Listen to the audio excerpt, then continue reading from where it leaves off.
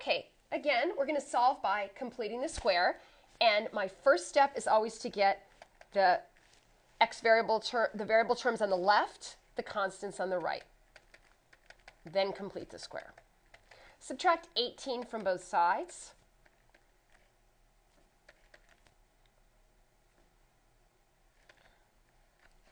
Now,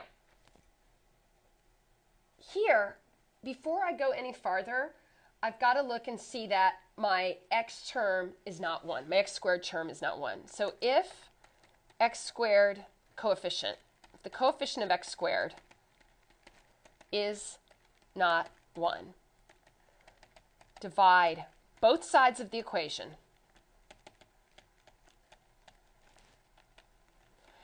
And the reason is I need to do that in order to complete the square and go on as usual.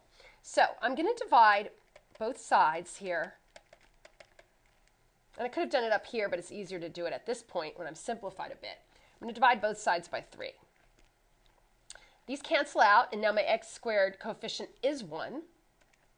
12 divided by 3, that's, that gives me negative 4x. And 6 divided by 3 is 2. Now I can go about completing the square. Because my leading coefficient is, is uh, 1.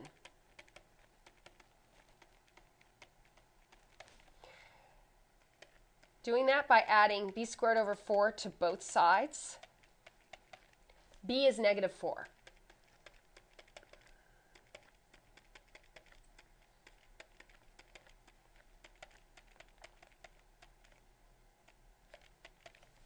So this gives me x squared minus 4x and this is 4 times 4 is 16 divided by 4. So that's just 4.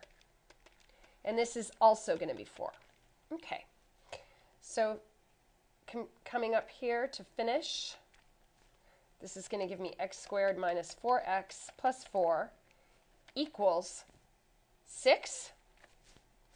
I now have my perfect square trinomial here, and it's x minus 2 squared. It's a negative 2 because the middle term's negative. And I'm going to find the square root of both sides.